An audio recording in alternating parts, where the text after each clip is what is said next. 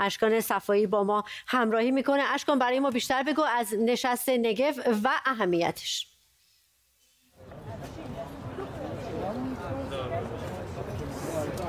بله خب من الان روبروی هتل کیدما هستم در که قرار هست در واقع این نشست در اون برگزار بشه. قرار هست تا چند دقیقه دیگه شاید نهایتا تا یک ساعت دیگه وزیران خارجه هر شش کشور به اینجا وارد بشن. بحث قبلی شما در مورد سپاه بود. می‌خوام این رو بگم که امروز هم در نشستایی که بلینکن با نخست وزیر وزیر خارجه اسرائیل داشت در هر دوی اونها در در واقع در کنفرانس های مطبوعاتی به بحث سپاه اشاره شد. اما نکته جالب این بود که در در واقع در نشست مطبوعاتی با بنت بنت ابراز نگرانی کرد از اینکه سپاه رو بخوان از فهرست گروه های تروریستی در بیارن و از آمریکا خواست که به نگرانی های منطقه گوش بده. اما بلینکن هیچ اشاره به سپاه نکرد.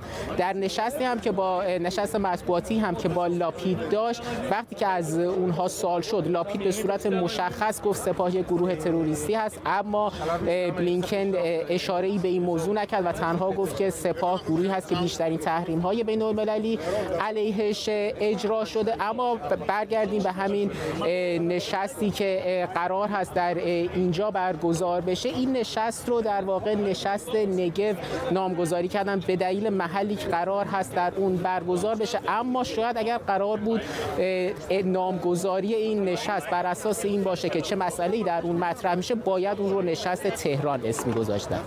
خب بپردازیم به این مسئله که در واقع ابراز همدردی کرد. نخست وزیر اسرائیل شب گذشته با عربستان سعودی در پی حمله حوثی های تحت حمایت جمهوری اسلامی. چقدر اهمیت داره این ابراز همدردی؟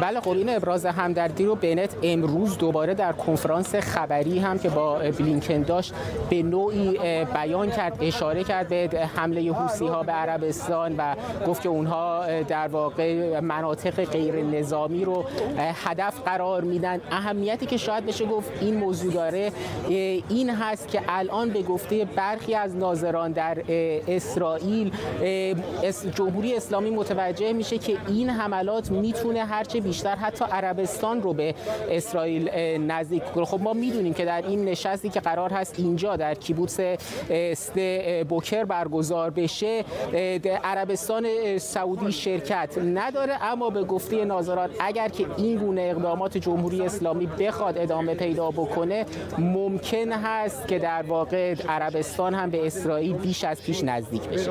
بسیاری از ممنونم. همکارم اشکان صفایی از اسرائیل. Enjoy.